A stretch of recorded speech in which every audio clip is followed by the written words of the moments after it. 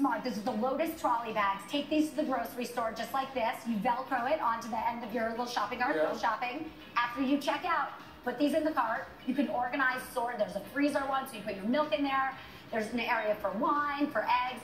So easy to then take into the car, take into your house, unpack. So, so smart. Really lightweight too. I love this. I think this is so smart. Jim Fallon, thank you. Thank you very much. That was great. We've got, yeah, the crowd loves it too. On these items and lots of other items as well. It's today.com slash shop. Oh, Miss Coppe. Oh, correct.